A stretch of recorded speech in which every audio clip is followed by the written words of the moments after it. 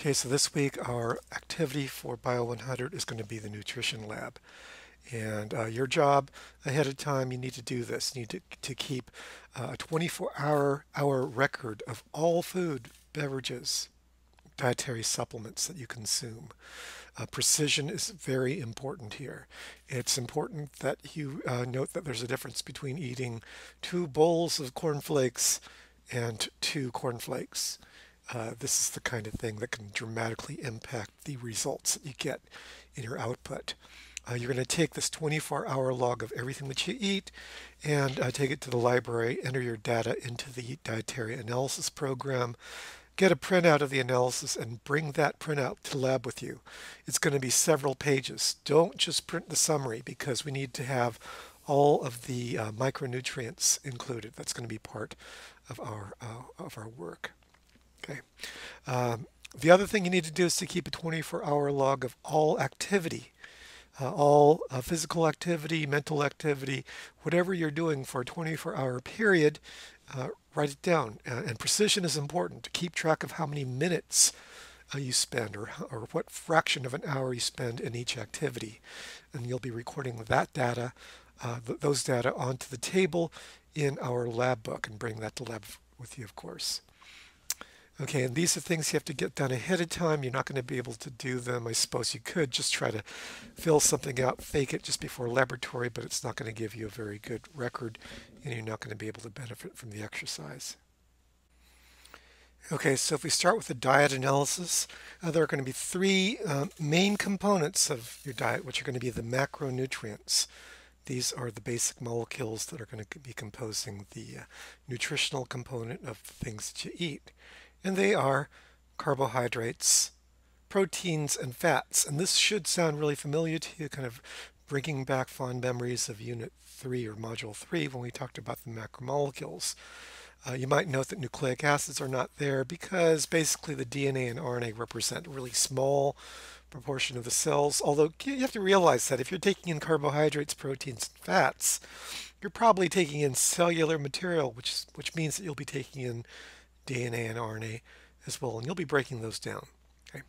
Another thing that's missing here is water. Water is, is, isn't a nutrient. There's no uh, there's no nutritional value in water, although it's absolutely, absolutely essential to have it. It's it's like it's like the, the main the main bulk of all the mass of the food that we eat, and without water, you, you wouldn't be able to take up any of the nutrients. Also, another thing that comes up is the, uh, the question of alcohol. Is alcohol a nutrient? Well, it certainly provides a lot of calories, but there's no nutritional value. It doesn't provide any um, monosaccharides or amino acids or fatty acids. Basically, has no real nutritional value. Uh, you could argue that wine, uh, or red wine, might provide some protection that might be good for you in some various ways, but it's not the alcohol that is the, uh, uh, the, the good part of red wine if you're into that sort of thing. Okay, so apart from the macronutrients, we also have these uh, things we call essential nutrients, which actually overlaps with the macronutrients. For example, we know that proteins get broken down into amino acids, and there are nine essential amino acids uh, yeah, they're fats. Fats are largely composed of things like phospholipids and triglycerides. Normally, we call the uh, the, the, fats like uh, like vegetable oils and animal oils. Those are mostly triglycerides.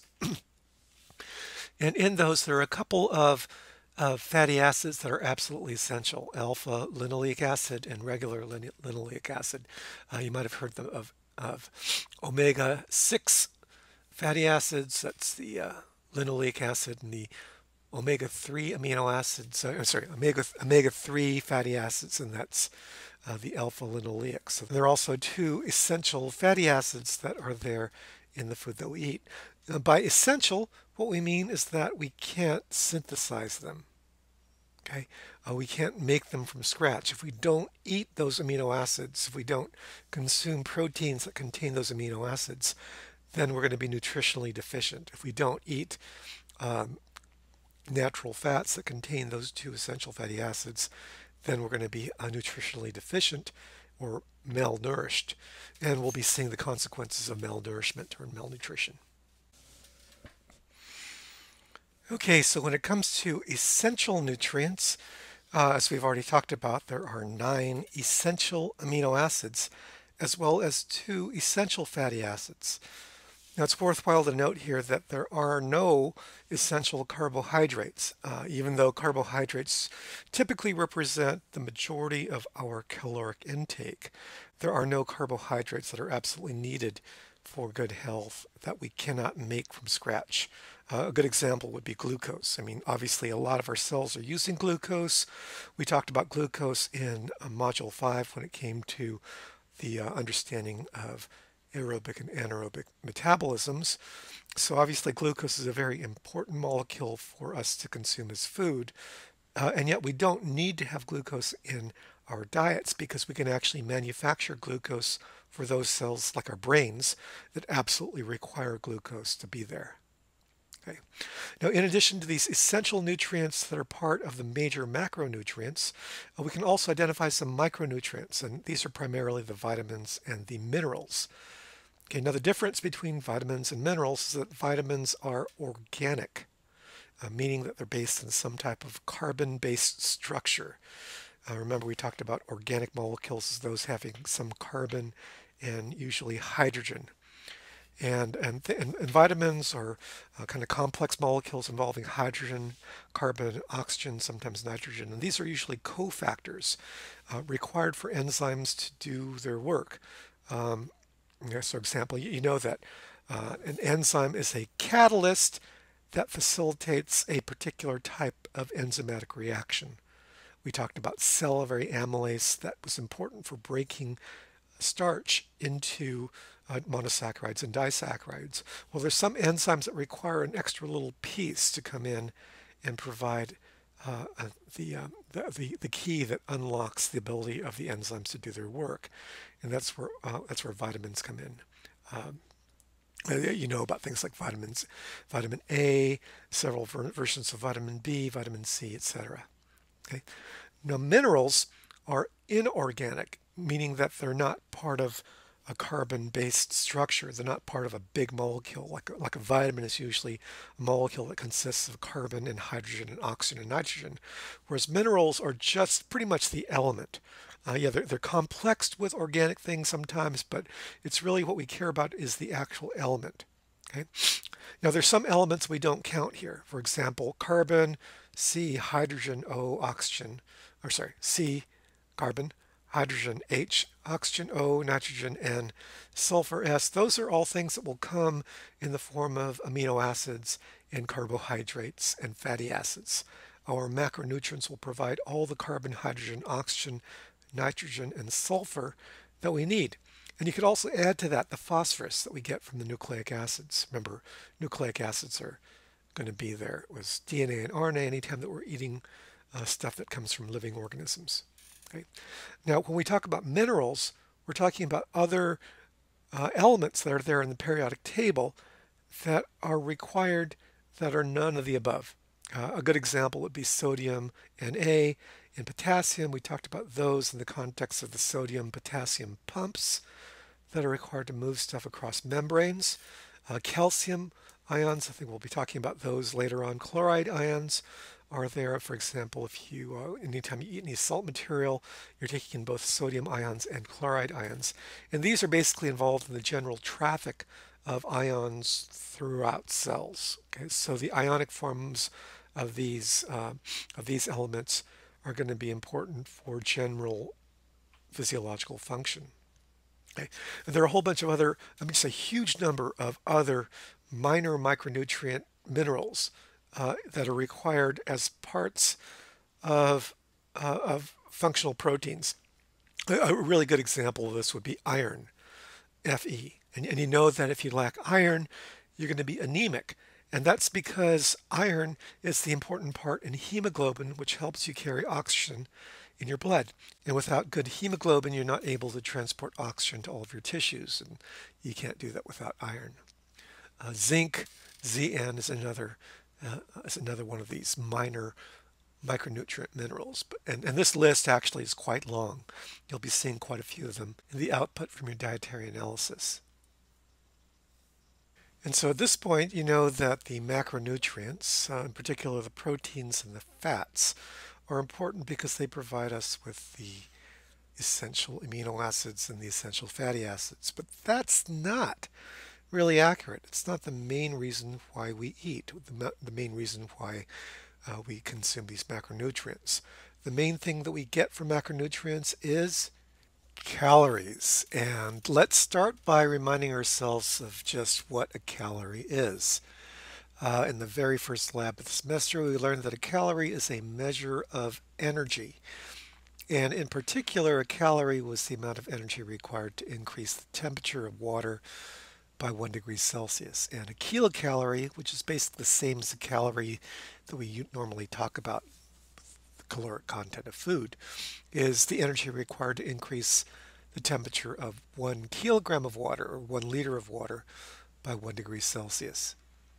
Okay, uh, so yeah, a, a calorie is actually a measure of energy. Now the question, why do we need calories? What's a, what does a calorie do for us?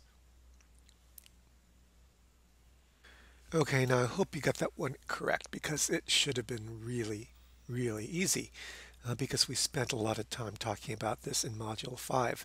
Obviously, we need the calories in order to drive the fueling reactions of metabolism. Glycolysis, the Krebs cycle, it all starts off with a molecule of glucose. And what the glucose is providing is the oxidation potential, the calories, the energy uh, that we're using in order to drive the synthesis of ATP from ADP plus phosphate. Okay. Now you expend energy just being alive. We're going to call it basal metabolism. Talk about it a little bit further later on. In all activities that you do, besides simply being alive, which includes everything from, uh, from writing notes, from sleeping to texting to uh, running marathons, all activities uh, are going to add to your metabolic expenditure, your caloric expenditure. And when you put it all together, we have to we have to replace all that ATP. We have to uh, all that ATP that's being consumed by all that activity, including being alive, is going to have to be replaced, and that's where we uh, bring food in. Here's another question what would happen to you if you didn't eat for a whole day?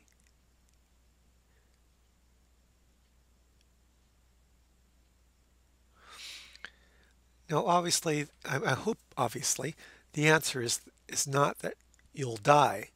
Okay, why don't you die? You know, we're, we're going to need to have calories. We're going to be expending lots of calories on that day that you don't eat.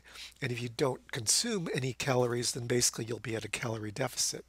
But we have stores of energy, uh, fat stores, uh, glycogen stores, but largely the fat stores is what we would be looking, we would be tapping into during that day, and you'd be mobilizing some of those calories that you that you have in your fat tissue, and you'll be consuming those, kind of to replace the calories that you're not eating as uh, for as long as you're not eating.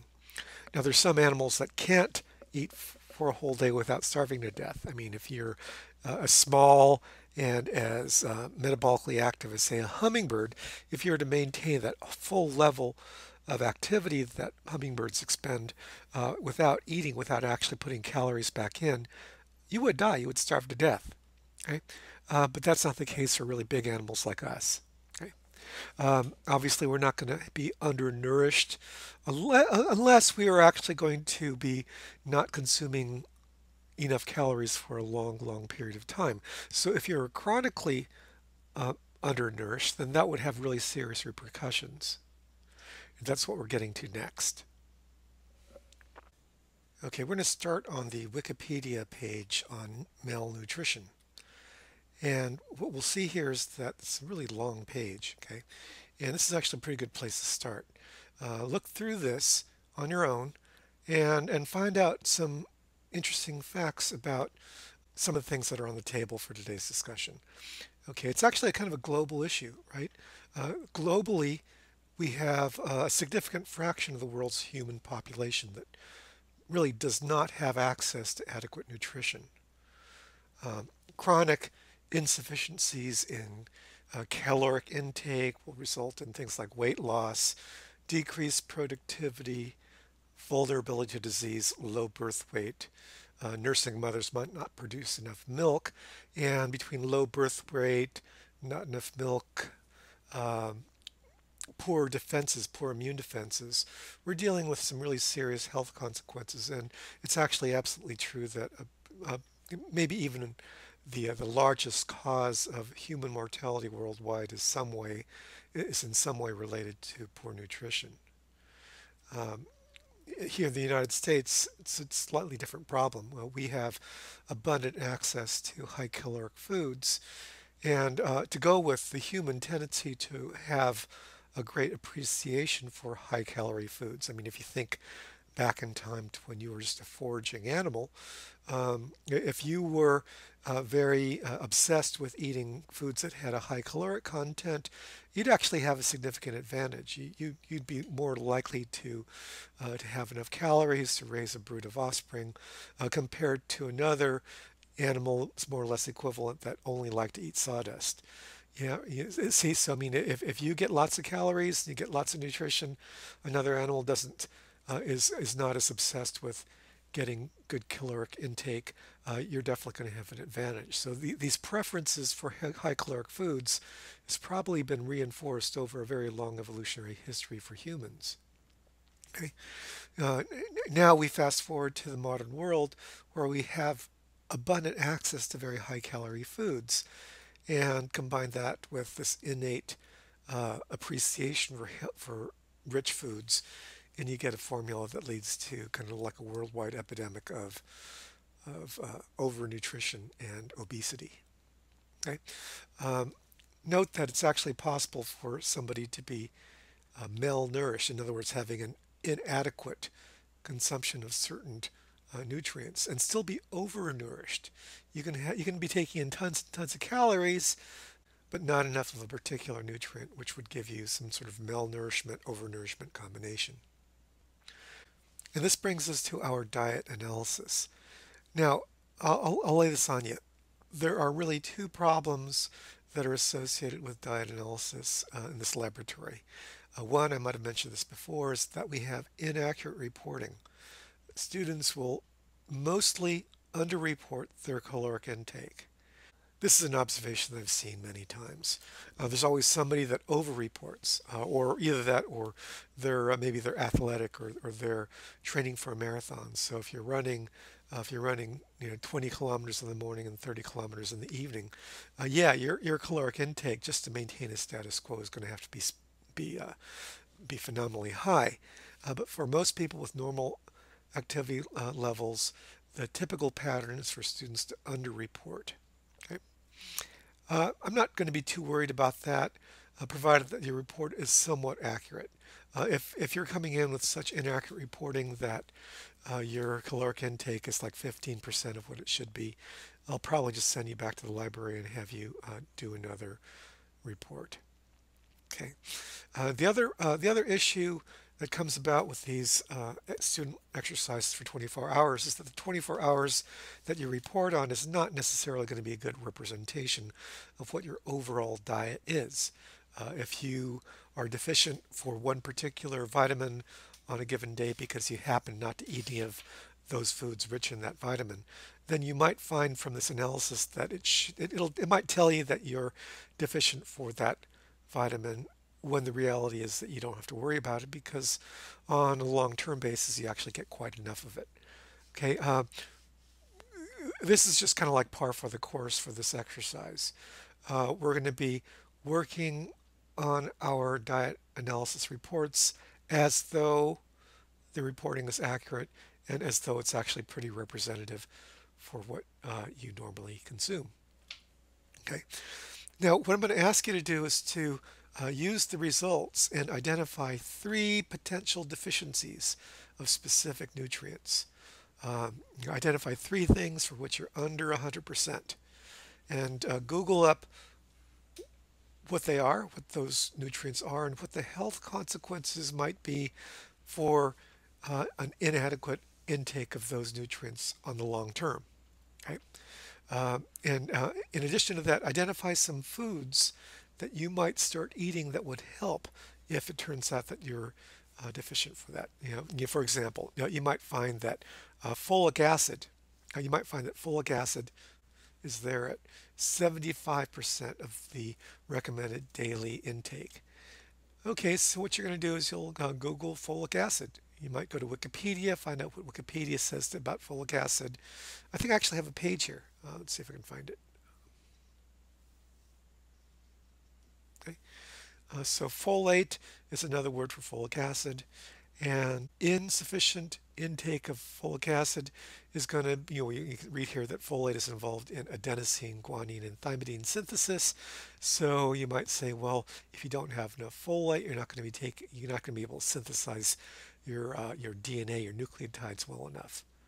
And that's absolutely true. So, so you can uh, read further. You could say, well, signs and symptoms of folic acid um, uh, deficiencies, the causes are obviously going to be not taking in enough of the folate, and uh, you can you can do you can prevent this by taking in uh, enough foods with adequate folate, and that would be like uh, leafy green vegetables. So eat your kale, everybody. Uh, you could also uh, supplement your diet with with a B vitamin supplement, and that would have the effect of filling whatever gap you have in your vitamin B12 Uh, and, so, and folate intake.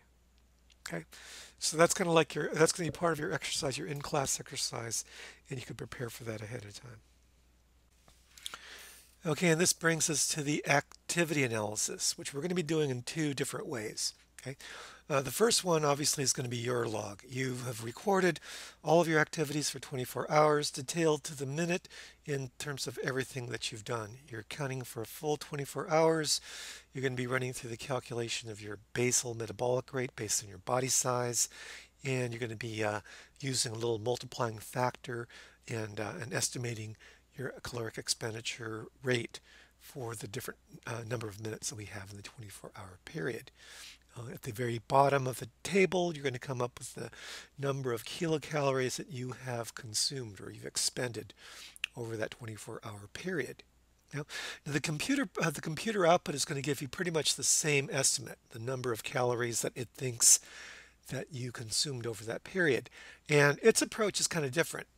It's not going to be detailed for activities. You're just going to be putting in uh, whether you think you're sedentary, lightly active, more active, super active, or whatever the terms are that you'll be putting in. Uh, it, it, will be more detailed. It's going to ask you for information about your demographics. And this is actually kind of neat because um, your basal metabolic rate, the baseline upon which you're adding additional activities, is not something that's only determined by body size. That's, that's kind of like our approach. Uh, BMR is also influenced by your age, uh, your gender, your general state of health. Uh, for example, if you're pregnant, you will be consuming more calories than you would if you were not pregnant. pregnant. If, if you were suffering from pneumonia, you would be consuming more calories than you would be if you were not suffering from pneumonia yeah, pregnancy and pneumonia are kind of the same thing in that regard. Uh, and, and, so uh, and so the computer method is, is kind of more detailed when it comes to demographic information. The uh, uh log of activity method is uh, more detailed in terms of the actual activity record. You know, I, I guess the point of interest here is like which one is better. No, we're not going to be able to evaluate that. But uh, the uh, the two different methods might give you dramatically different estimates, or they might give you estimates that are about the same. Now that's pretty much it. Uh, overall, pretty much this entire lab could be done at home or, or on your own time. And, and all we have to do when we actually get into lab, past all of stuff that we normally do at the beginning, uh, is go over the output. Uh, I'm going to be having you complete a worksheet based on the hard copy printouts you'll be getting based on the uh, on the calculations you make from your activity analysis. But apart from that, uh, most of what we do in laboratory will be kind of self-guided. Okay, uh, see you guys in the lab. Uh, have a good week.